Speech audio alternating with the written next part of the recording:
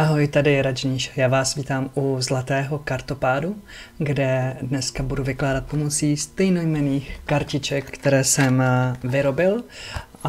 Zlatý kartopád. No a já vám jenom přečtu, co se píše na krabičce, abychom chytili ducha toho uh, vykládání. Když jsme věrni sami sobě, pak nás nic nevyvede z míry. Lépe řečeno, pak ať se děje, co se děje, vždy máme tu správnou reakci. A to z jednoho velmi prostého důvodu. Naše reakce není tvořena okolnostmi, ale naším zdravým jádrem. A pak je tu ještě jedna informace. I když se zdá, že je nebezpečí zažehnáno, stále jsme těmi, kdo velí. Jednat impulzivně by mohlo být chybné, všechno se může ještě zvrtnout. Moudré by bylo ptát se. tak takhle nějaká praví kartičky zlatého kartopádu. A já si tady budu teď ty kartičky chvíli míchat a uvidíme, jaké poselství nám tady mm, vyplyne. Mm, jsem zvědavý. Opravdu jo, je to premiéra těchto kartiček. tak jdeme na tom. Tak mám asi ještě chvilinku míchat. Úplně voní novotou. Já už jsem to říkal v unboxingu. A znovu, když je míchám, tak úplně cítím tu vůni. No. Dobře. Poťukáme a vytáhneme jednu a uvidíme, kam nás to zavede.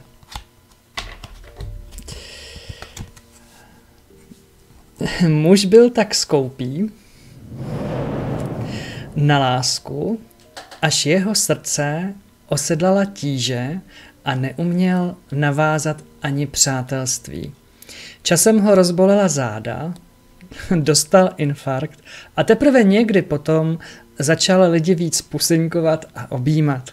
Nezapomněl ale také na výtku své ženě, která ho drezurovala. Jsme tím, s kým žijeme. tak a první věc je, co to s váma dělá, když to čtu, nebo když to tadyhle vedle mě vidíte. Co to s váma dělá? Cítíte se pobaveni, tak jako já, nebo cítíte, že to s váma někde uvnitř eh, pracuje? A já jsem se musel zasmát v ten moment, kdy se hovořilo o bolavých zádech, protože já už mám asi tak rok potíže se zády, tak mi přijde, že to není tak úplně náhoda, že jsem si tuhle kartičku vytáhl. A taky, taky je pravda, že jsem tuhle šel a přes desnou a je tady bydlí taková paní a tak když mě vidí, tak na mě skočí a začne mě objímat. a já jsem z toho vždycky takový, jakože spontánnost si přeci může dovolit jenom ražníš. a mě tady chodí pod tou kartou, že to není tak úplně náhoda, že jsem ji vytáhnul, a že s tou spontánností tu máte také co dočinění. Ne tou svou, ale s tou spontáností uh, druhých lidí. Že uh, vy se můžete tak jako odtahovat, vy ze sebe můžete dělat studený čumáky, ale uh, druzí lidé mají v podstatě právo projevit tu svoji spontánnost taky. Stejně jako vy v určitých situacích s lidmi, se kterými vám je třeba dobře. A pak je tady ta důležitá větička. Nezapomněl ale také na výtku své ženě, která ho drezurovala. Hmm. No a teď ženy. a upřímně. která z vás toho svého doma nedrezuruje? Která z vás ke svému partnerovi nemluví jako k dítěti, který mu je všechno potřeba vysvětlit, říct dvakrát? Hmm? Která z vás?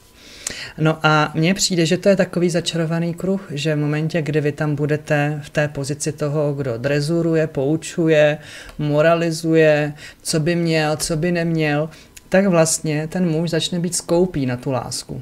Jo, začne být skoupý na ty projevy a vy tam pak máte něco na způsob. No, on už mě nemiluje, on už mi ani neřekne, že mě má rád. No ale jak by člověk mohl říct, jak se tomu říká, tomu, kdo drezuruje, že ho má rád.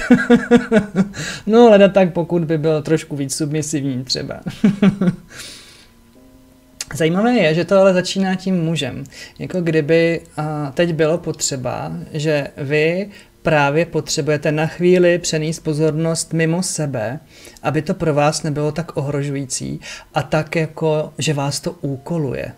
Že to jde vlastně na vás takovou oklikou, jo, ta duchovní pravda.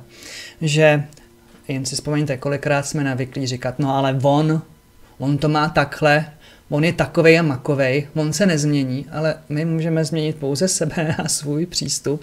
A tahle karta na to jde právě fikaně, že vám jako říká, jo, on je takovej, ale ve výsledku vás to stahne mm, k vám.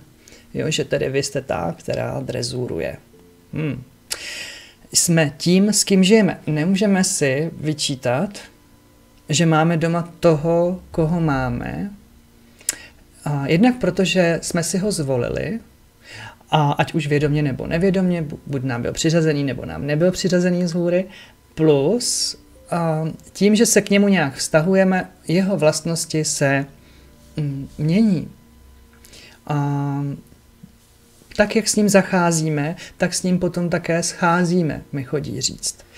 A jsme tím, s kým žijeme. Mm, tak, ještě mi tam chodí, že někomu by mohlo být docela příjemné mít vedle sebe partnera, který je třeba v nižší eh, vibraci, který je ukecaný, který třeba kouří, je takový hodně jako zemitej. Někomu to může dělat dobře, protože se pak vrací jakoby víc k sobě, do svých pocitů a nechává toho druhýho být právě proto, že vyvažuje třeba jeho uh, vysokovibrační energii. Hmm. Nezapomněl ale také na výtku své ženě, která ho drezurovala. Co znamená, že on té ženě něco uh, vyčítá. Možná i vyčítá to, jak se teď právě vlastně má. To, že měl problémy se srdcem, to, že ho bolej záda, je vlastně vina té partnerky. A a protože je to začarovaný kruh, tak ta kartička říká, že je potřeba změnit styl komunikace. Vy tam už nemůžete být jako ta matka, která ho peskuje. Trošku mi chodí, že mm, tamhle která z vás stojí jako anglická královna, která je tím svědomím jo, těch svých ministrů. takže, takže ne, ne. Je tam potřeba být eh, spolu mm, s těmi druhými, ať už to je muž jako partner nebo mm, kdokoliv jiný jako, jako s partnerem. Hmm. No, a teď mi i chodí, že když to vezmu fikaně, protože to je obecný uh, výklad, žena byla tak skoupá na lásku, až její srdce osedlala tíže. Že to může být i vlastně naopak. Že tady nejde o to někam hodit tu odpovědnost teď na vás nebo na toho partnera, jenom si převzít část té své odpovědnosti.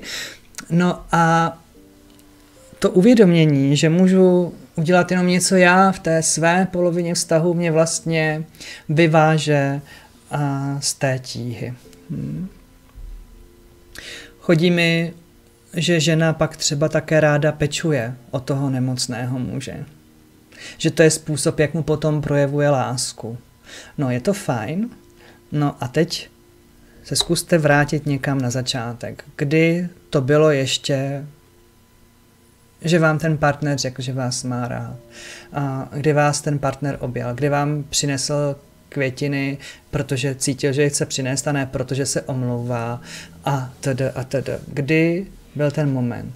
Tak tam se vraťte, co jste dělali jinak, než eh, to děláte dneska. Hmm. A chodí mi, že může být ještě velmi ohrožující si připustit, že to takhle je, a protože bychom mohli zjistit, že žijeme s nesprávným partnerem. Už tenkrát jsem věděla, že on není ten pravý. No, ale vzala jsem si ho. Jo. Um, takže tak. tak to nechte se sebou pracovat, přátelé. No a my se uvidíme příště. Pa, pa, pa.